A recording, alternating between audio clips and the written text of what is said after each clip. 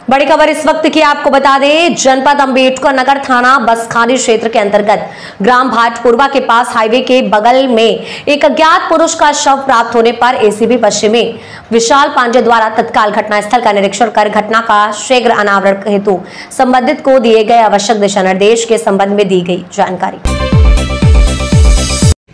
थाना बसखारी अंतर्गत भटपुरवा के पास एक हाईवे पर एक अज्ञात शव मिला है, जिसके पहचान का प्रयास किया जा रहा है। अभी तक पहचान नहीं हो पाई है। इसमें पंचायतनामा भर के पोस्टमार्टम की कार्रवाई कराई जा रही है।